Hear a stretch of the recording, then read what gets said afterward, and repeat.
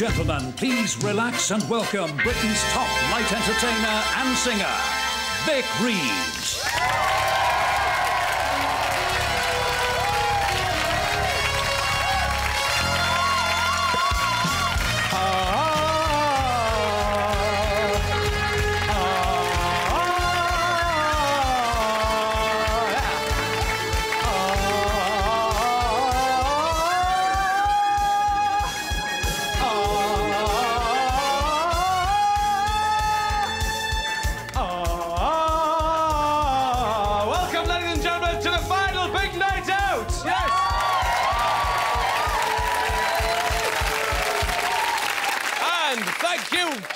This lovely Tamil rebel for bringing me on tonight. Absolutely no problem. well, and apparently you've uh, landed yourself a position as taking over from Paul Collins on Brookside. Is that right? Well, I don't want to be premature, but I think I've landed the part, yes.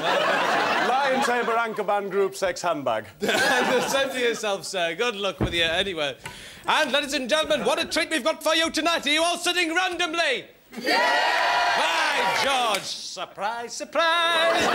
We've got some treats for By Jingle, ladies and gentlemen. Look at the quality of that sausage. You- I was out the back earlier. You wouldn't believe what's going on round the back. There was there was Van Morrison wearing quite a smart boob tube, man. And he was climbing up this ladder with a bucket of piping hot hummus. And there was there was uh, what's what's that woman's name? Dame Marietta, Marietta Higgs, is it? She was on the roof. She said, "Come on, Van Man, I'm starving." And I'm not, about a month ago. Anyway, later on, ladies and gentlemen, we've got a tramp. With uh, a Billy Idol haircut, and he's going to be pouring some cider onto a, a little partridge, and then he's going to climb into a zither and go to sleep. And we've got a judge with a grudge and a little bit of fudge, and a weary canary with a belly full of bolts. That's all later on tonight, ladies and gentlemen. But without any further ado, let's meet Judge Pickles.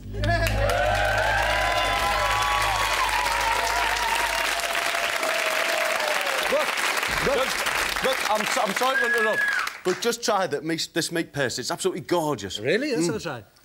Isn't that beautiful? fantastic.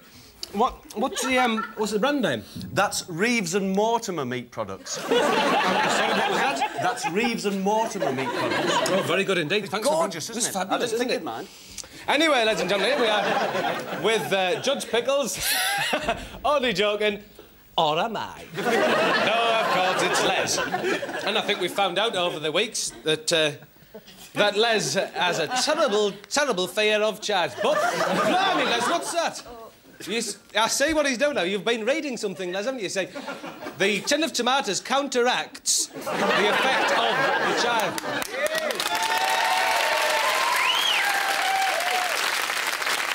He's done well. But what Les doesn't know is that little fluffy fiddlesticks, the puppy, negates the effect of said tomatoes. I'm sorry, Les. I'm sorry, Les. I won't do that again. But, you know, uh, Les... Fact number one, really proper tonight, is that Les really can't resist the taste of a juicy ripe mango. And uh, due to uh, high winds over Norway, there isn't any mangoes available at the moment, but a little bit of a surprise there, maybe for Les, that right beneath this very stage is the Lord Mayor of London's own mango supply. you wouldn't believe it, would you? It's incredible.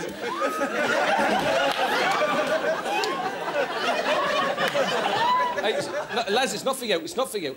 Well, ladies and gentlemen, let's all start to vibrate rather gently from side to side. Can we do that? Of vibration?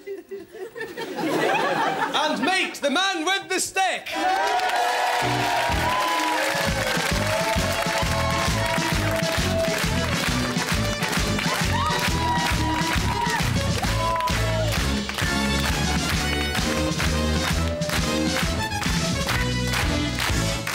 Stick. What do we cry when we meet a man with a stick? What's up, stick? By George, we do. and now you're going to reveal what's on the your stick? Not quite yet. Doesn't surprise me. Come and lay your stick down, at ease. Come and join me. Just idle for a while with me. Let's have a look at that. Lovely, yes. Hey, Les, look at they're not your mangoes. Come on, let's have a look at that lovely helmet. What have we got up there? A woman claiming she can't live without Harry Nilsson. um, a spoilt child laughing at his mother's mouth ulcer. Oh.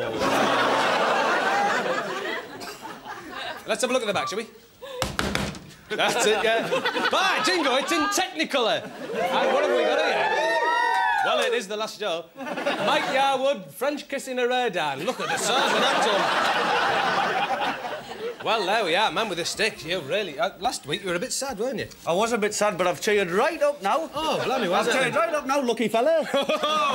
no, well, Terry did a works party for us, you see. Oh, did he really? Oh, it was such a brilliant do. It was fabulous. Right, you know, we finished work. He paid for it all. Like, well, I pay my money straight into his account. There's some arrangement he's got. and then he, he cleaned off a bit of the interest money and he laid on a really brilliant spread.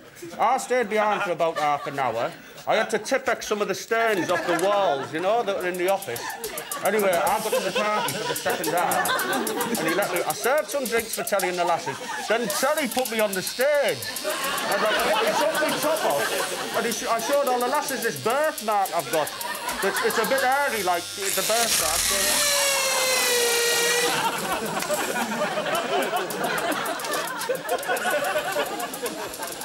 What? What? Sorry. Sorry. oh, well, you saying something? I didn't... I was... Vic, Vic, have I bored you? No, no!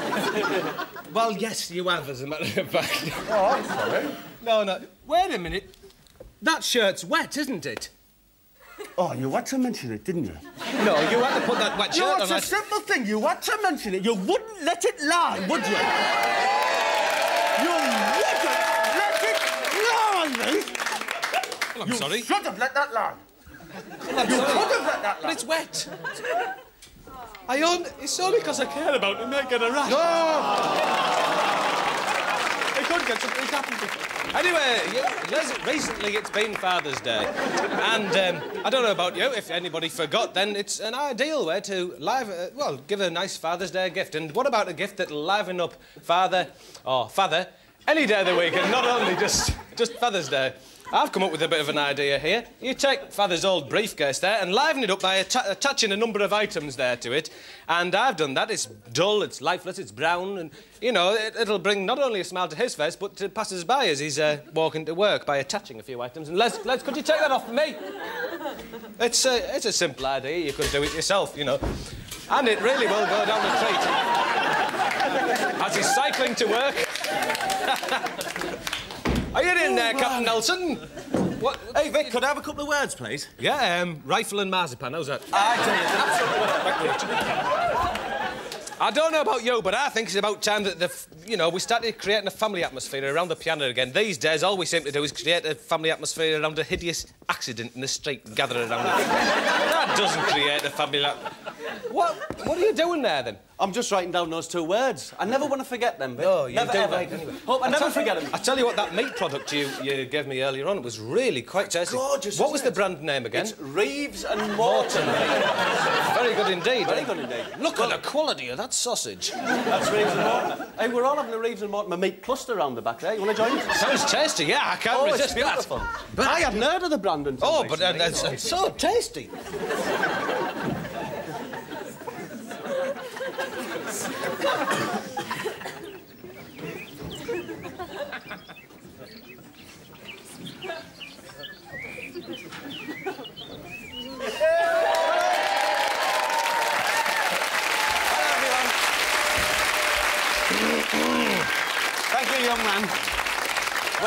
We are Rucksack. We are, and you may remember us from rumbling some time ago. Those were the rumbling days, but today we're in the garden. You see, it's not all walking, and you know it's not all gardening. It's not all gardening. It is, Alan. Now I've come up with an idea in the garden. You might like to try it yourself. It's a lovely idea for It the makes gardening much more fun, Alan. Yes, I've, if you want to make a shoe for a little child, why not take this parsnip and hollow it out and you make an ideal little children's show, then? Oh, that'd be lovely for the party, Could you Alan. go- you well that done, one, well you? done, Alan. Well done. Thank you. what else have we got? You've got a balancing trick on. Yes, I like to balance my carrots. Uh, and, uh, you know, I'll just uh, point this out, Alan. The potting shed reminds me of that little incident with you and my wife. What, our little potting shed? Yes, you- you're the incident with the sparrow. Why don't you tell Oh, you don't mind telling? Oh, it's tell a it. funny little story. I'll balance the carrots, you tell the story. OK, well, it goes something like this, as I say to Alan when I'm in the pub. What happened was, was we found a little sparrow frozen on the lawn, and me and Alan's wife's Mary, Alan's wife Mary, I should say, Alan, we took the little sparrow into the shed, and I warmed it against uh, Mary's brassiere. It's true. But you wouldn't believe it because at that point Alan came into the shed. It's good. I didn't know. As Elvis Presley might have said, I was a bit suspicious. typical Alan, that's Oh, typical God, Alan. is, isn't it? But of course the bird had flown away by the time Alan came. and you know, well, it's not all gardening, is it's it? not Alan? all, it's not with you, Alan, no. Well, uh, you've got a little impression that you like oh, to that's do, right, you? yes. You guess, Alan. You guess I do, as we say, down the pub. All right, then. Uh, Who's that, then? Uh, it's Jazzy B. It's Jazzy B. Of course it is. We're so clever with those words, aren't we, Alan? Oh, look at the speed of that. Now then, you know, It was fast, Alan, wasn't it? was, it's a bit like Concorde, doesn't it? A bit like Concorde. Just a little joke we have in the garden sometimes. What's Concorde? it's not all gardening, is it? No, of course, and the Harvest Festival's coming up, and we're going to do a little bit of nativity in the garden. Now, you can do this in, in your, on your kitchen shelf. Alan, or- you were going to do a bit of nativity. I'll do it, yes. now then, you take your vegetable and you turn it into a little nativity scene. For instance, this could be the shed that Jesus was born in. And why not use the this this carrot here as uh, as the uh, Madonna there? She can be stood there. What about these? Three, well, we've got three wise men there coming up there and a couple of lowing cattle there, just lowing over the edge. Can you see them lowing? Oh, they're starting to Alan. Alan, Alan, it's ever so good. Why don't you use that as a standard Oh, lamp? that's a good idea. Standard lamp can go there. And That's why don't you use this little fella as a MIDI system? Oh, what a good idea, Alan, but... They didn't have... Carry on, do the fit, fit frontispiece, All as right, I then, yes. Well, now then, this is my favourite piece, ladies and gentlemen. The little plum, that's a baby Jesus, Is he sleeping naturally. And can you see that? It really does look like a nativity. You see, Oh, we've, that's spoiled it. we've spilled it there, but we don't care because we're in the garden. Of course we And are. there are no Alan- pressures on Alan- either. That's another way we pass the time in the garden, with Alan beating me quite severely across the brow. But tides come and go, seasons change, and, you know, Alan can't resist... Alan can't resist writing a little song about the garden, and he's going to oh, make me I've written this song, yes. It goes So, like this. kick it, Al. See the little cauliflower talking to the cucumber about the olden days when there were peas. A robin perches on a spade, the wood the sun shines through a woodland glade, and in the treetops grows a tiny swede. And I think that I love you, and I think that I care, though am but a gardener. I love you, I swear. I love you, I swear. I love you. Alan, you've made a fool of both of us doing that. What were you doing with those antics with the pears and I just everything? got a bit excited, It's such a beautiful song. I got excited. Alan, what are my wife's wife fronts doing in here? Never you mind that. You come and apologise to these good people. Come on. Come on, spew it out. I do apologise, ladies and gentlemen, for making a fool of you all.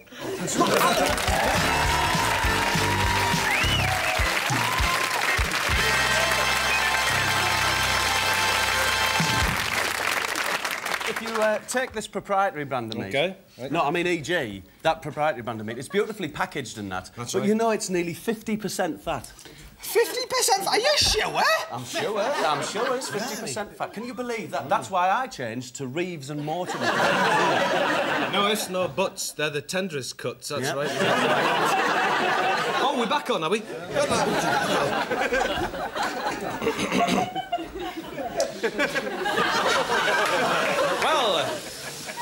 rice, wheat, cress, partridge, handbag, fishnet. That's what I'd call a group if I started one. But it's time now, ladies and gentlemen, to take a trip to Novelty Island.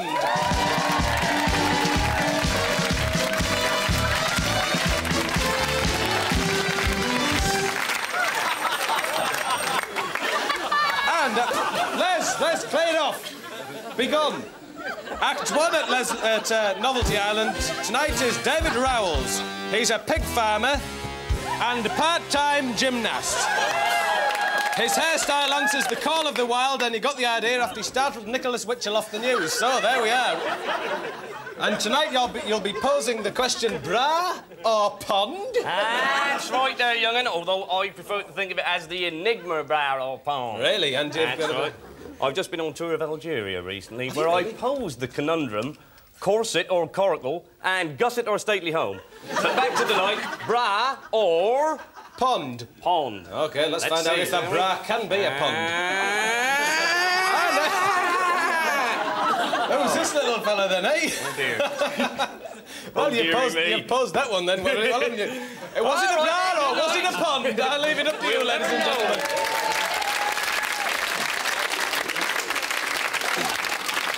Well, now then, let's see who's act number two at Novelty Island tonight. It's... Oh, no. No, no, I can't, no. I'm not having it.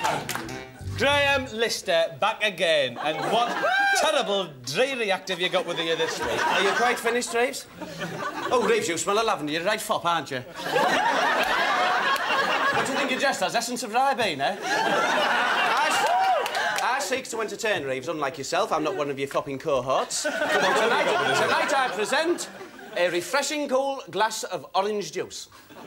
And what are you going to do with it then? Reeves, this is the act. Can you not appreciate something as You can't come on here with a jug of orange juice and tell me that that's an act. Reeves, I just came off. Get out! Lister, get out of here! I told you before, I know... Clear it off. I know doctors and dentists. Hey, Reeves, Reeves, I have a couple of stamps in my pocket that are slightly damp. That's, that's not act either! Get out! Reeves, I've got two peanuts that weigh exactly... No, I wouldn't...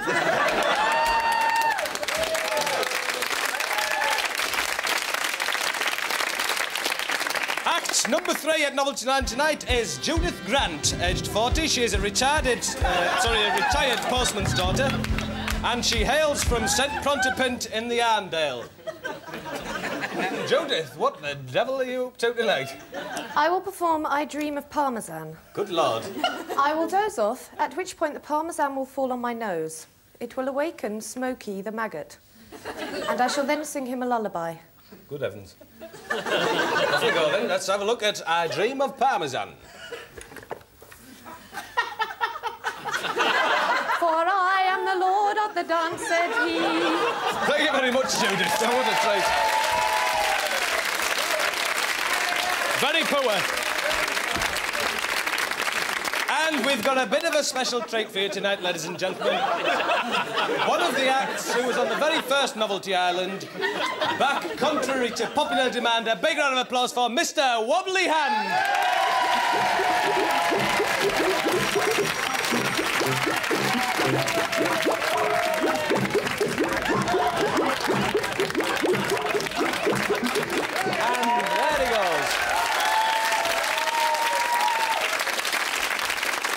Now then, there we are, ladies and gentlemen. Novelty Island. Some of the turns at Novelty Island there tonight. Les, man, clear off. It's the Lord Mayor of London. Spanco's not yours. Well, now we've had, uh, Charles has been painting the acts during the course of the Novelty Islands, and I think we can have a look at them now. And we've got a special judge who's going to be looking at the paintings here tonight. And it's Mick Hucknall's hair, which we've had stuck on the end of it all.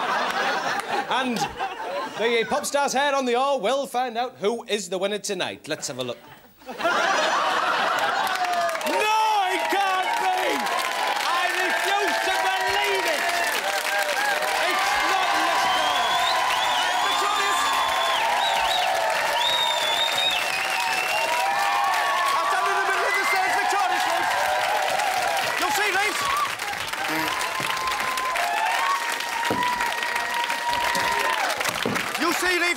You, you smug fop. You see, Reeves, at the end of the day, I prepared something for just this moment. Victory is mine. You cannot deny the verdict of the ginger pop star's hair. The truth is out, Reeves. No longer the smug get, eh? Quality has prevailed, and the voices in my head are silenced.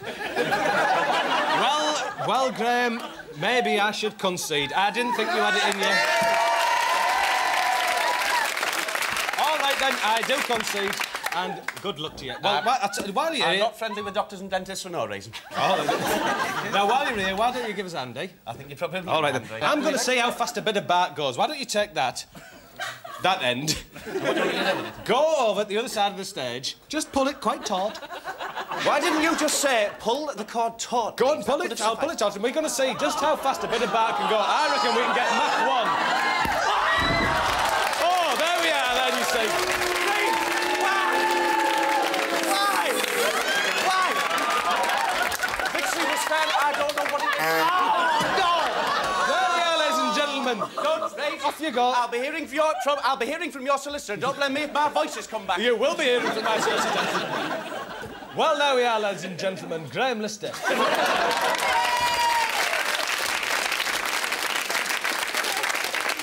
well, it's the end of a series.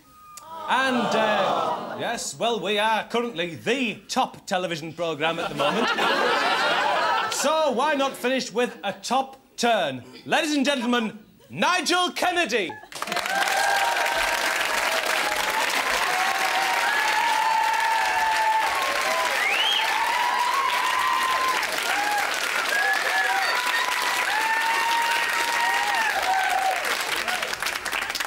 I'm gonna do. I'm gonna do something out the All Seasons brochure. Kill Bell.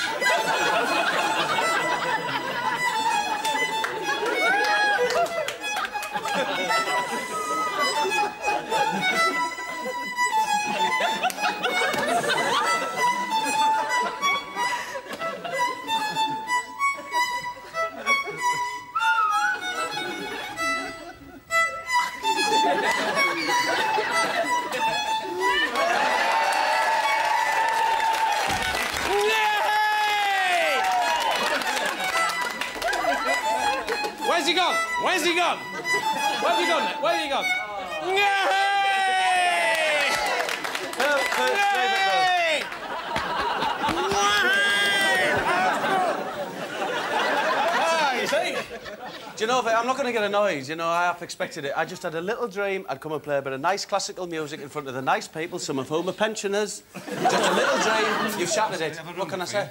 Don't you have dreams, Vic? Nothing like Of that. Of course, I have dreams like any other man. Uh, I've got a... Well, give us an example. and Well, I'll I've got a crazy. I've got a crazy, crazy dream. Oh, yeah. It'll never come true. It might, you know. No, stick I'll- with it, stick with it, me man. Well, I just dreamed that one day I'll, I'll twiddle with the grease nipple on a bus. Oh, that's a beautiful dream. It might come Haven't true you got day. any other dreams? Oh, I have dreams well Oh, enough. come on, come on, tell us one. Well, one in particular, which, uh, eh, well, it won't come true. Really? You know. Now, how is it? hard Come I on, ask. tell us what it is. Well, it's simply that one day I'd like to see a little cherry on an ironing board. You know, I knew you were going to say that. Les! You haven't. Yes, it's the last You show, haven't. I've had a bit of a treat. Oh!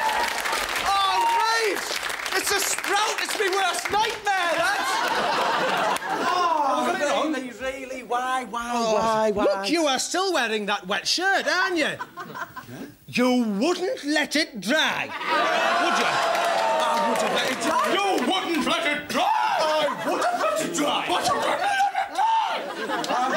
would have let it dry. Blimey, that smells great. What is it? Oh, it's gorgeous. Mm. This is Mortimer and Reeves meat product. Really? Yes, Mortimer and Reeves. Sounds good to me.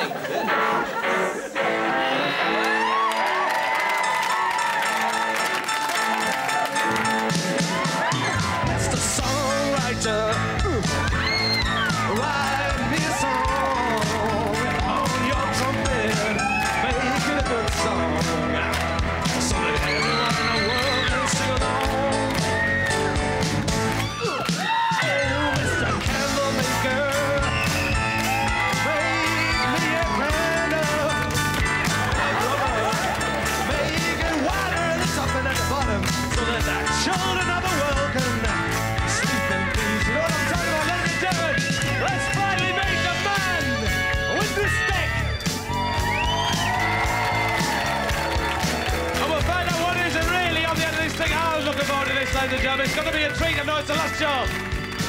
Get it? Lister's Luxury.